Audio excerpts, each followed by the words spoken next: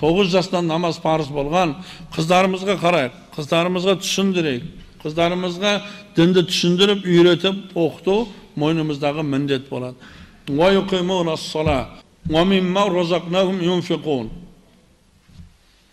алла субхана тағала оларға ризық қылып берген нәрсені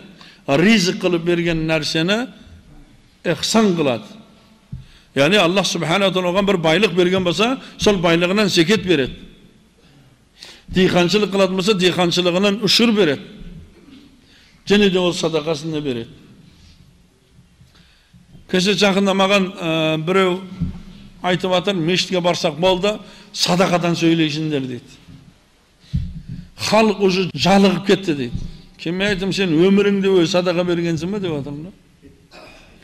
өмірінде садақа берген адам өйтіп айтпайды дедім халық садақадан жалықпайды өзіне рызық қылып берген нәрсені инфақ қылады ихсан қылады адамдарға береді таратады пайғамбар саллаллаху алейхи уассалам байларға зекеттеріңізді беріңіздер деді жалпы халыққа садақа беріңіздер деді бір хұрма болса да бір хұрманы бөліп болса да садақа беріңіз деді себебі садақа бәлені қайтарады мына қазіргі бізде және қоғамымызға айтамыз қоғамымызда қазір жемқорлық деген нәрсе сол дәрежеде дамып кеткен неге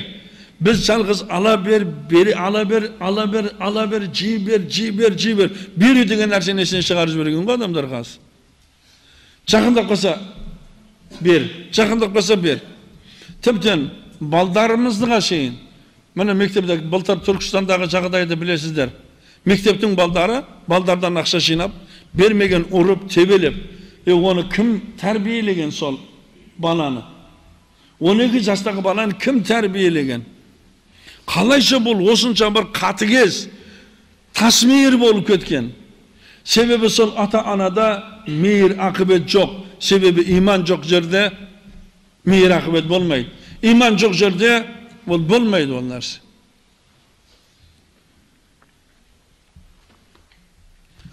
біздің дініміз садақаменен тұрған зекетпенен тұрған. Қараңыз себебі садақа берген адамның жүрегінде мейір болады. Садақа берген адамның жүрегінде аллаға болған махаббаты болады. Міне мысалы осы зекет беріп жатқан байлар қанша зекет қанша зекетін берсе де қуанып кетеді. Бір күні бір жолдас жігіт айтады шешең пәлен қылайын дейді аналар менен дейді ақша алып кетті дейді. Мен айттым е ақша алғанда сол өзің жұмысыңды бітіру үшін пәрі берген шығар десем иә дейді. Е қуанбайсың ба қалған жұмыстарың қалды ғой деп жатырмын да. Сөйтсем жоқ дейді. Олар менің пешене терімнен тапқан ақшамды алып кетті ғой олар дейді да. Қанша ақша бердің сонша? деп жатырмын да. Сөйтсем мен үш миллион бердім дейді. Мен айттым енді дедім жүр дедім сен менімен бірге жүр дедім да мешітке бардық мешітте сол рамазан айы еді рамазан айында бір жігіт маған айтқан мен зекет тапсырмақшымын зекетімді беруге келдім сол жігіт келіп қалды да жаңағы бір миллион теңге зекет берді мен айтып жатырмын көріп жатырмын сен пәре бердің пәре беріп алып қалдың бірақ ішіңнен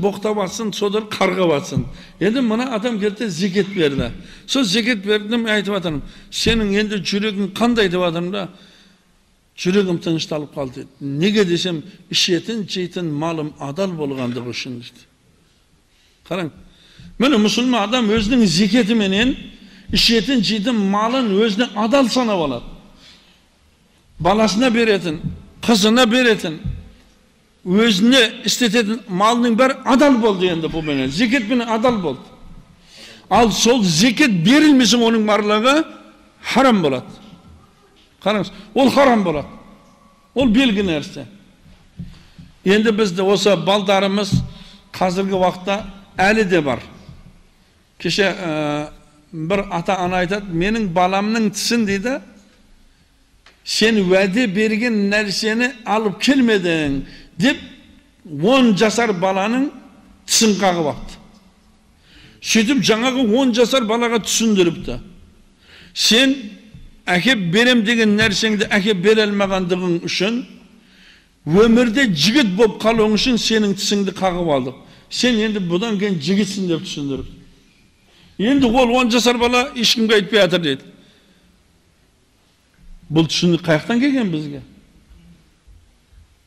біз ұрылардың заңымен өмір сүрмейміз мына вор закон дейді ғой біз оларменен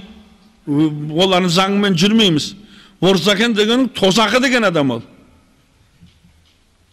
вор законе бұл ұрлықпенен біздің шариғатта оның ұрлығының мөлшері белгіленеді да қолын немесе бармағын шауып тастайды немесе аяғын шауып тастайды ал мұсылман адам бұмен өмір сүрмейді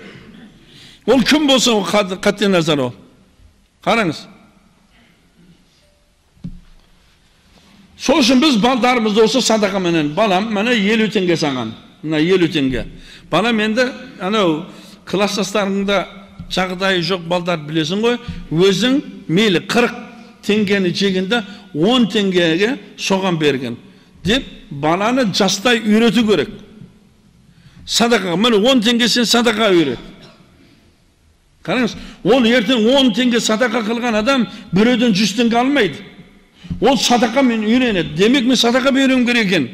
садақа беру адамдардың жүрегіне мейір орнатуым керек екен деп тұрып осыны ойлайды мына турцияда кеше жақында бардық енді үйге кірдім енді бізде садақа жәшіктер қай жақта тұрады бізде сауда дүкендерінде магазиндерде осындай мешіттің жанында тұрады ана үйге барсақ ана үйде садақа жәшігі тұр ғой кіре берісте бір садақа жәшік тұр екен үндемедім бай болғаннан кейін қойған шығар үйіне кірсек тағы бір садақа жәшік тұр кейін намаз оқиын деді намаз оқып жатсақ және садақа жәшік тұр кейін мен сұрадым мынау не дедім сөйтсем жаңағы кісі күліп жатыр үйде мен шешесі яғни менің әйелім екеуміздің садаға тастайтын жәшігіміз бөлек менің қызымдікі бөлек баламдікі бөлек әрқайсымыз бір жылда әрқайсымыз бір жылда сол садақа жәшігімізге тастаймыз да құрбан айт келген уақытында сол садақамызға бір мал алып соямыз дейді бізде он он бесіміз жабылып бір қой соямыз а он он бесіміз жабылып тағын оларда әрбір семьяда мысалы бес адам болатын болса бес адам бір жыл өзінің садақасын жинап жинап жинап тұрып бір үйде бес қой сояр екен да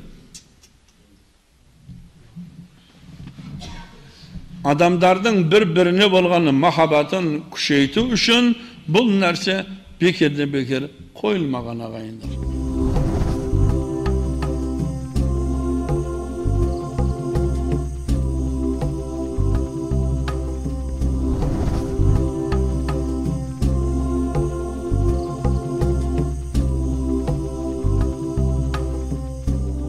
маруа компаниясы. Бізбен бірге болыңыздар. Қажыларға жасалған қызмет біз үшін мәртебелі құрмет.